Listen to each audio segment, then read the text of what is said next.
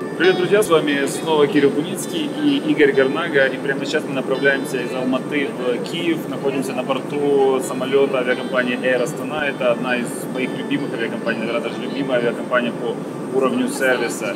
И э, вот решили для вас записать такой некий, некий подкаст, интервью. Игорь, расскажи, как твои впечатления вообще от Казахстана? Мы были неделю, да? Да. А, Была масса интересных встреч. Кирилл проводил тренинги. Мы встречались э, с бизнесменами из Казахстана. Я завел много друзей, которые ходят к Кириллу и получил инсайд от них. И в целом короткая информация, которую я хочу поделиться с вами. Казахстан это страна, которая идет э, в ногу со временем, но одна нога вперед, а вторая отстает. Поэтому э, вести э, бизнес в Казахстане довольно комфортно, э, налоги низкие, э, конкуренция маленькая. И самое что главное, очень много отсутствия продуктов на рынке, очень много продуктов отсутствует, заходить в Казахстан можно и, соответственно, вести новый бизнес и заводить новые отношения. Супер. Так. Да, ну действительно крутая страна, поскольку сам уже давно веду бизнес в Казахстане и могу сказать, что страна очень классная. Самое главное, очень э, отличные люди, очень гостеприимные. Э, общайтесь с казахами, они очень гостеприимные, очень радушные, помогут по любым вопросам. Супер, супер. А у Игоря были еще вопросы, которые он хотел задать, и он предположил, что они, ответы на эти вопросы могут быть вам интересны. Поэтому, Игорь, какие у тебя есть вопросы? Да, Кирилл, э, смотри, у меня сейчас такая проблема, я веду одновременно 2-3 бизнеса, есть некоторые проблемы. А, это финансовый учет, как вести там три бизнеса а, параллельно, как разделять денежные потоки, и Б, на какие ключевые точки нужно ставить акценты, чтобы параллельно еще не ввязываться в оперативку, а смотреть на рост компании или искать другие направления. Окей, ну, отвечу на вопрос Игоря. Значит, э, первое, что важно понимать, что заниматься одновременно несколькими бизнесами достаточно сложно, когда все бизнесы находятся на этапе стартапа, то есть на этапе начального роста. И очень важно э, отстроить сначала один бизнес на определенный уровень, то есть вывести его за точку безубыточности, вывести в на уровень стабильности, достичь стабильной команды в этом бизнесе, и только потом заниматься другим бизнесом, потому что любой бизнес на этапе стартапа, он подобен а, новорожденному ребенку, требует очень много времени, и, соответственно, требует много времени, ресурсов, э, энергетических ресурсов собственника. Соответственно, распыляясь между несколькими бизнесами, во-первых, получается, что каждый бизнес такой себе не до бизнес, да, то есть он недостаточно эффективен.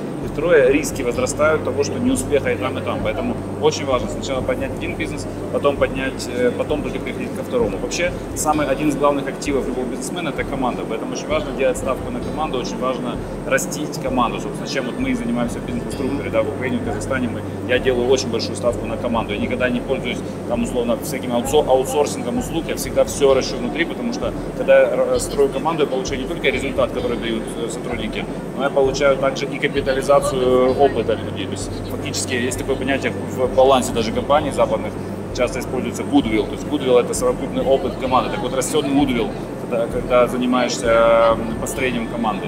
Вот. Ну и денежные потоки, естественно, важно разделять, нельзя мешать бизнесу одновременно, иначе возникнет финансовый каннибализм, когда один бизнес начинает вымывать деньги из другого и съедать поэтому это очень важно.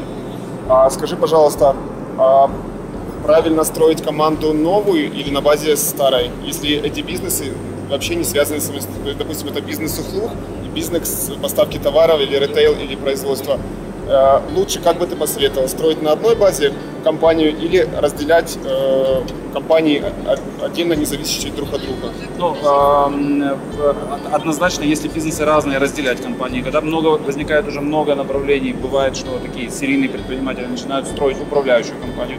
Это также может быть классным решением, но это уже со временем. Самое главное, чтобы если открывается новая компания и э, если кто-то из старого бизнеса переходит в новый бизнес, важно, чтобы э, не страдал основной бизнес. То есть круто взрастить уже команду, на которую может опираться и переводить кого-то в новое направление, но без ущерба для старого. То есть всегда, поэтому очень важно, чтобы каждый э, центр ответственности, каждый эксперт в бизнесе взрастил себе э, преемника, чтобы он, то есть если я собираюсь кого-то переводить в новое направление, пусть он взрастит себе преемника, и тогда только я буду строить, э, переводить его в новое направление. Но важно, чтобы была ну, команда, это очень сильно, очень сильно. И, кстати, поэтому важно как можно быстрее расти бизнес, потому что чем быстрее растет бизнес, тем больше компания способна набирать людей, а чем больше компания набирает людей, тем больше э, растет статистическая вероятность того, что будут находиться самые крутые люди, потому что нужна большая выборка, то есть нужно, нужно много людей просеивать, чтобы найти действительно сильных, а для этого нужна, нужна большая организационная структура. Хорошо, э, такой тогда вопрос.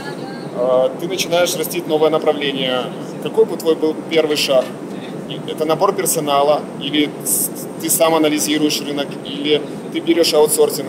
Как, бы, как ты видишь это понять, понять рынок, понять, кто клиент, понять, в чем потребность клиента, а, увидеть неудовлетворенную потребность и, и убедиться в том, что объем рынка достаточный, он платежеспособный и текущий уровень конкуренции позволяет а, выйти и создать э, сильный конкурентный продукт. То есть для этого нужно общаться с представителями рынка, то есть прообщаться, ну, по маркетингу это называется фокус-группы, но это можно делать просто общаясь даже с, э, э с клиентами вживую, просто приходя к компаниям или к людям и говоря, ребят, в чем проблема, есть ли такая потребность, как сейчас удовлетворять разговоры, разговаривать, okay, разговаривать. Okay. Этот этап мы уже прошли, ты сформировал видение, понял, что продукт актуальный, нашел его. Какой дальше шаг? Ты берешь персонал или ты начинаешь сам курировать э, поставля, поставки, допустим, или производство продукта, или его вопрос, вопрос наличия бюджета, да, как говорят всегда, холодный старт, э, хороший стартап, голодный стартап, то есть должен неплохо начинать бизнес, э, заливать его сразу инвестициями, да, то есть поэтому лучше всегда стараться, называется термин bootstrapping в, в венчурном инвестировании, то есть когда начинаем все делать с нуля. Но в любом случае какая-то минимальная команда нужна. Всегда нужно вначале убедиться, что я могу на минимальном уровне уже удовлетворить потребность клиента, да. обеспечить качество продукта, а дальше качать доходную ногу. То есть это маркетинг продажи, маркетинг продажи поначалу хорошо пропустить через себя, если есть возможность, если есть время. Это повысит вероятность успеха, потому что в бизнесе действует такой принцип, хочешь обеспечить качество результата, обеспечить качество процесса. Чтобы обеспечить качество процесса, я должен быть уверен в том, что сотрудники, которые у меня работают, они делают правильные шаги. Поэтому я должен в идеале пропустить через себя, если есть возможность. Если нет, то э, силами людей, но тут классно, конечно, если есть уже команда, которую можно подключить к существующей, проверенная команда. Всегда сложно работать с зелеными, непроверенными людьми. А, по финансовым потокам, в принципе, все понятно. Берем финансовые потоки. Если финансовых потоков не хватает, что мы делаем?